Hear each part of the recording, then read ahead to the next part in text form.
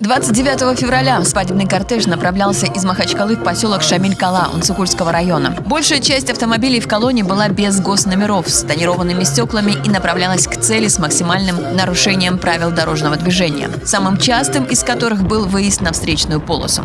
Колонну остановили сотрудники полиции. Я Не будешь ты как Давай, давай остановите меня. Остановлю. Давай. Ори здесь.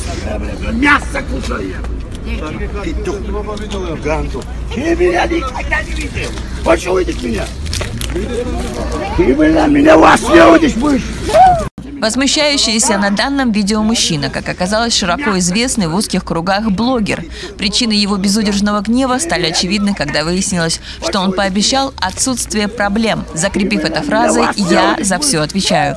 После чего молодые водители дружно сняли с автомобилей госномера и убрали их в багажнике.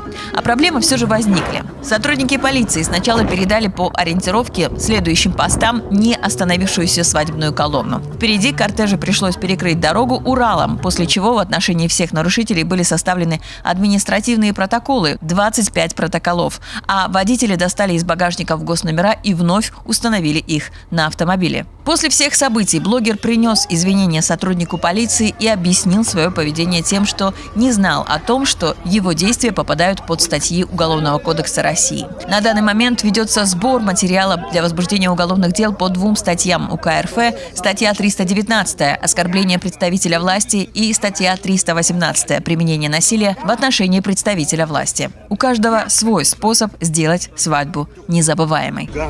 Ты меня никогда не видел. Хочешь увидеть меня? Ты меня, меня вас не увидишь будешь.